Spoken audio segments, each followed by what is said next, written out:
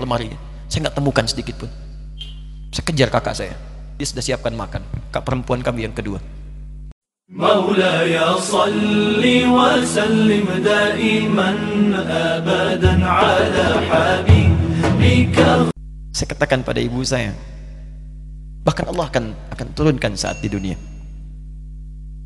ayah saya meninggal saat saya masuk pesantren dan baiknya saya rasakan luar biasa. Beliau mengajar di musalla kecil dulu sekarang jadi masjid. Ah. itu saya selalu di bawah. Beliau mengajar saya tidur. Sekarang gantian saya mengajar beliau tidur. Dan kadang di pangku gendong sampai pulang. Saya pernah sengaja pura-pura tidur untuk ingin tahu apa yang dikerjakan ayah saya di jalan. Jaga betul supaya nggak bangun begitu saya disimpan di kasur dan bangun diajak bercanda. Saya mau masuk pesantren beliau nggak sempat ngantar. Saya bertemu beliau menangis peluk saya minta maaf nggak bisa ngantar ke pesantren. Saya belum mengerti apa pun saat itu. Saya bertekad insya Allah saya belajar dengan sungguh-sungguh. Sepekan dua pekan saya dapat panggilan pulang. Saya tanya pada kakak saya yang ikut sekarang ada di sini. Di mana ayah? Beliau nggak jawab. Sampai di Bandung paman saya. Beliau sekarang saya MUI Jawa Barat. Langsung menyampaikan nampaknya nggak akan terkejar sampai sana. Mungkin sudah dimakamkan. Saya ngerti paham saat itu bahwa beliau telah wafat. Maka saya pulang. Maghrib saya sampai saya dapati ibu di ruangan tengah saya datangi saya menahan tangis tidak menangis sedikit pun untuk membahagiakan ibu saya.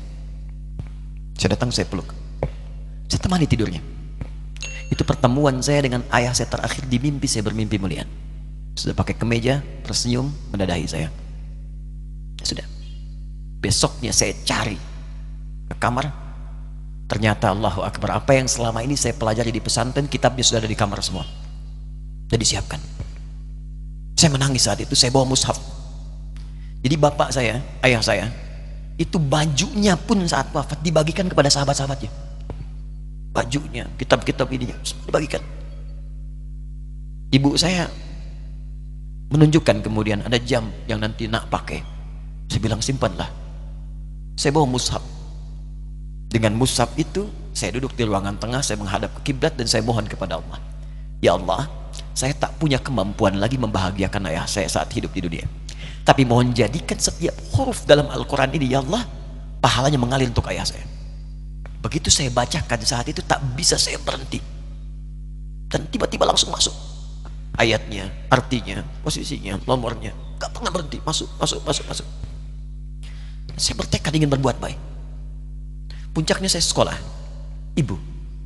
Ya Allah saya ingin berbakti pada ibunda saya. Anda tahu apa yang terjadi? Demi Allah saya katakan ketika Anda bersabar. Ibu saya bu, Pak. Itu krisis 97 Pak. Waktu krisis. Saya masuk pesantren. Saya diberikan sempurna bekal seperti anak-anak lain. Rupanya ibu saya sudah tanya kepada santi-santi orang tuanya berapa bekal anda kasihkan dikasih yang paling tinggi itu itu dikasihkan pada kami tiap bulan. Saya terima. Satu kali libur saya pulang dari jauh, ibu saya tersenyum melihat sedang timur pakaian melihat saya. Begitu saya tiba, kaget saya. Ini kok pakaian ibu saya pakaiannya nggak cocok dipakai gitu. Ini bukan pakaian ibu saya. Kayak kain pel lah kalau sekarang. Saya masuk ke rumah, saya kejar, saya buka pakaiannya, lemarinya. Saya nggak temukan sedikit pun. Saya kejar kakak saya. Dia sudah siapkan makan. Kak perempuan kami yang kedua. Mana pakaian ibu saya? Perhatikan jawabannya. Dia menangis saat itu. Dia bilang, Mama itu telah menjual semua perhiasan dan pakaiannya untuk pendidikan kamu. Kita kan ya. Jual. Dan bertahan dengan 150 ribu per bulan. Saat krisis. Jadi rupanya ibu saya itu makan nasi sehari cuma sekali. Beliau mengajar di berangkat sekolah itu cuma makan pisang minum kopi makan nasinya malam saya bilang ya Allah saya akan ganti baju ibu saya dengan kain ihram dan saya ganting tangannya di Masjidil Haram itu apa yang terjadi begitu saya kuliah di Libya Alhamdulillah. Saya berangkat, saya mulai mengajar, saya serius belajar. Saat itu kemudian, Allah mulai berikan jalan. Saya ingin sungguh-sungguh. Malam saya bangun, saya sholat, saya belajar, saya menghafal Quran, saya belajar riwayat Quran. Sampai puncaknya tiba. Saya ditugaskan pemerintah Indonesia saat itu untuk jadi petugas haji di Mekah. Saya telepon ibu saya. Saya bilang, Ma, saya insya Allah akan haji 2010. Saya telepon Februari saat itu. Saya dengar suara. Terbayang wajahnya indah, senyuman, bahagia. Alhamdulillah nak. Kapan berangkat? Tahun ini insya Allah. Saya bilang dan saya tidak akan pernah berangkat kecuali mama pun akan berangkat. Terdengar nada pesimis tapi senyum. Dari mana katanya? Allah akan kasih saya bilang. Saya sedang bekerja berusaha karena Allah. Mustahil Allah akan sia-siakan gitu. Berapa butuhnya? Porsinya 25 juta. Kapan harus ada? Bulan Juni. Ya, jadi dari Februari ke Juni itu. Ya, Juli, Juli, bukan Juni, Juli. Ya, jadi saya masih ingat bulan 7 5 bulan tuh. Saya ibu, Pak, ah, nabung saya.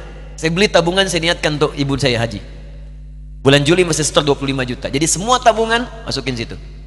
Ada yang ngajar ngasih masukin situ. Masukin semua. Tepat sepekan sebelum itu kemudian didaftarkan, saya buka tabungan. Allahu Akbar, karunia Allah luar biasa. Tadi butuh berapa? 25 juta. Begitu dibuka, ah Masya Allah, satu juta.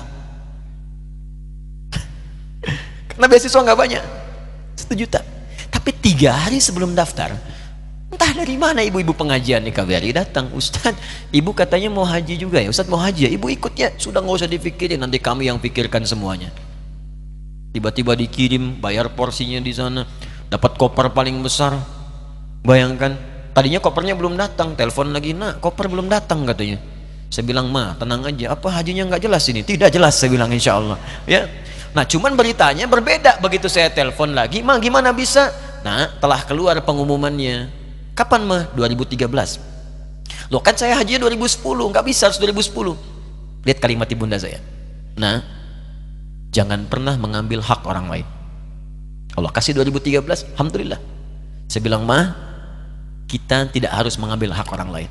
Tapi kita meminta kepada Allah yang memanggil kita, boleh jadi Allah akan berikan tambahan kuota pada tahun ini doa lagi minta nang ke masjid tiba-tiba ada sidang oki di Istanbul saat itu keputusan satu seribu setiap ada seribu muslim satu kuotanya saat itu Indonesia dapat tambahan 22 ribu termasuk ibu saya ada di situ ya, acara malam Al-Qadar 27 Ramadan malam masih ingat betul saya jadi MC dengan rektor pada saat itu saya nggak pernah bawa handphone tiba-tiba handphone itu saya bawa berbunyi kemudian telepon itu saya minta pada rektor izin, saya angkat dulu. Diperkenankan. Saya kemudian ke belakang masjid, saya angkat. Tiba-tiba saya dengar suara sudah menangis. Nah, katanya. Kenapa, Ma? Alhamdulillah, Mama bisa haji. Ternyata kuota itu termasuk ibu saya. Lima bulan, Pak. Wena biasa. Nggak bayar tambahan, nggak ada macam-macam bisa berangkat. Begitu saya berangkat duluan, saya tungguin betul di apartemennya, di maktabnya sampai datang. Begitu sudah datang saya nggak sapa, saya lihat dari jauh. Bahagianya saya bisa mengganti pakaian tadi yang lusuh dengan kain ihram. Saya perhatikan, saya ikuti dari belakang. Di lift, saya ikuti. Di jalan, saya ikuti. Begitu sampai Masjidil Haram, saya gandeng tangannya. Ma, kita sama-sama. Terbaik Allahumma terbaik. Terbaik kalau syarika laka baik. Saya tawaf, saya gandeng ibu saya, saya lindungi supaya dapat kenikmatan dalam tawafnya Begitu saya saya rasakan bagaimana Sayyidah Hajar bekerja keras untuk Ismail. Saya balas di situ. Saya gandeng tangan yang kanan. Saya minta pada Allah muliakan ibu saya ya Allah, muliakan ibu saya. Muliakan. Berikan saya kesempatan membahagiakannya. Cuman yang kanan digandeng, yang kiri kosong. Karena sudah tidak ada. Di ketika Anda belajar pun untuk menjadi ulama, Allah akan muliakan Anda. Orang tua Anda akan dapat bagiannya. Yang hafal Quran itu Musa, yang bisa haji bapak ibunya. Kemarin saya jadi Amirul Hajj dari kedutaan Saudi berangkat, membawa 350 orang rombongan. Siapa yang saya bawa? Ahli Quran yang hafal Quran anak-anaknya. Ahmad Kamil yang haji, pengajarnya, murabinya, ibunya, temannya, banyak yang berangkat. Yang berangkat siapa? Calon ulama.